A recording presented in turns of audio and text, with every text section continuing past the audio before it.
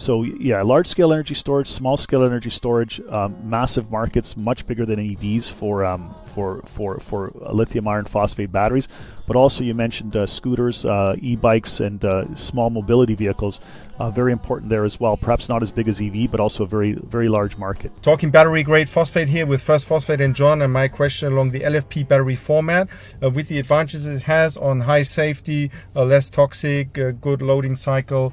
Um, why has it not picked up yet as the standard in North America with General Motors and Ford, for example? Well, we're, we're actually quite happy with the way things are going. We, we've just seen a you know massive shift uh, to LFP battery in North America. We've seen it uh, in Europe and in Asia, you know, even in, in, Europe now, Stellantis is talking about it. They were the holdout. Every single uh, manufacturer in North America is committing uh, to, in some form or another, to LFP battery. Uh, and you know, LFP battery, which was you know uh, expected to be you know 50% of battery chemistries by 2030, is already pretty much 50% of battery chemistries worldwide. Um, somewhere between 40 and, and 50, 60. I mean, China, I think it's it's crossed uh, over 50%.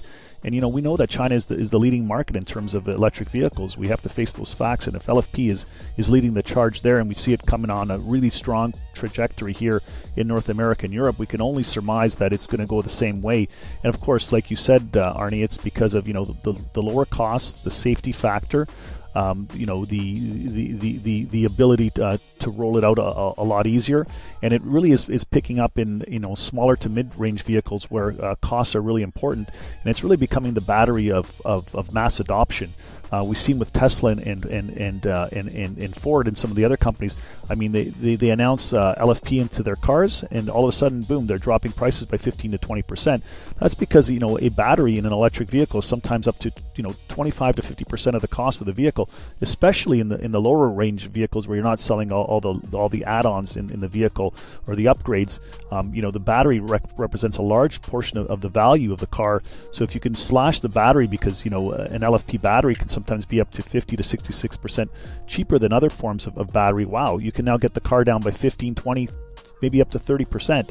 And that's real value, and that's really important in, in the auto manufacturers being able to uh, meet their uh, their electrification goals, which are now starting to be implemented into law and uh, kicking off mass adoption. Not everybody has a, hundred thousand dollars to, to buy a, an electric vehicle. Those costs got to come down. It's got to come down to the forty, fifty thousand dollar range, and then we'll have electric vehicles everywhere. And LFP batteries, what does that? So we've been talking about EVs uh, with LFP batteries uh, dominating the small and medium segment what about energy storage? Like For me, it's one of the hidden champions. If I look around in the in my network, uh, people get solar panels. What's the next step? They want to have uh, battery storage. Uh, people get a heat pump. What's the next step?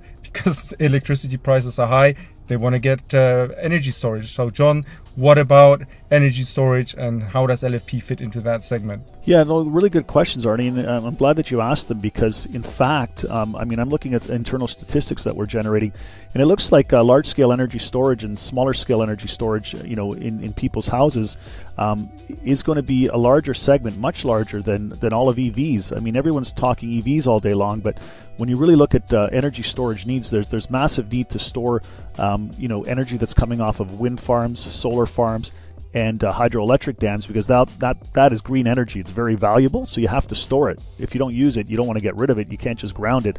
You need to store it, and all of that is you know LFP technology is, is the best um, is the best technology for those kind of really large scale applications. Again, it's because of costs um, and you know the the ability uh, to roll it out.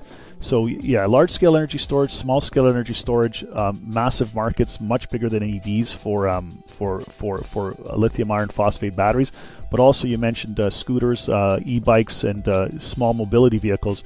Very important there as well. Perhaps not as big as EV, but also a very very large market. Yeah, and just to chuck in a number here, from what I've heard, in Indonesia alone, we're talking about 12 million scooters. So yes, they have a much smaller battery pack, but uh, total volume 12 million that's a pretty hefty number.